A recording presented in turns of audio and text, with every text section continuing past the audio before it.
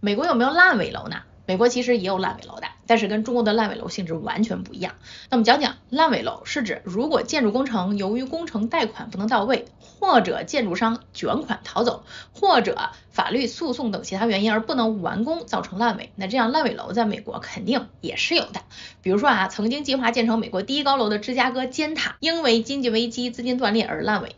那美国在建设一个工程的时候，需要先向美国银行申请一定数额的工程贷款，那在建完楼时候才会去收购房者的全款。也就是说哈，即使美国发生烂尾楼，美国烂尾楼的损失是由建筑商和银行承担，购房者最多最多收到百分之一左右的定金损失。而中国允许在房子建成前先把房子卖出去，所以中国的烂尾楼呢，一般发生在建商收到百分之一百购房款后开始建房的阶段，买房者虽然没有收到房子，但还得继续付房。房贷，购房者成为了最大的受害者。所以说，美国的烂尾楼的受害者跟中国并不一样，一边呢是建商和银行，一边呢是普通购房者。了解更多美国房产信息或者有买房卖房需求，请关注 Maggie 姐，我们下期再见。